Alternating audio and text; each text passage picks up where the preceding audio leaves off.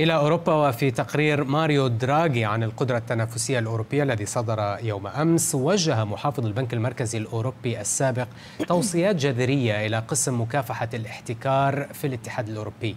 الرسالة العامة التي وجهها دراغي هي أن تركيز مسؤولي مكافحة الاحتكار الأوروبيين فقط على أسعار المستهلك يعيق اللحاق بالاقتصاد الرقمي العالمي حيث تحتاج الشركات إلى زيادة الحجم للتنافس والابتكار وتتلخص الحلول التي يقترحها دراغي في تقريره في منح المزيد من الحرية للشركات لإبرام الصفقات والقيام بعمليات الاستحواذ والاندماجات والتعاون بين الشركات المتنافسة ومعالجة المشاكل فور ظهورها ومراقبة الاندماجات المقلقة بعد إتمامها وليس قبل ذلك. يعني هو كان عم بيقول إنه ليه لماذا يعارض الاتحاد الأوروبي مثلا اندماج ألستوم مع سيمنز؟ ما بدك تشكل عمالقة تستطيع منافسة العمالقة الأمريكية والصينية ولكن وغيرها. عنصر هام في أوروبا هي دائما حماية المستهلك النهائي والصغير على عكس بالولايات المتحدة حيث انه الكفة تميل دائما نحو الشركات, الشركات. الكبيرة.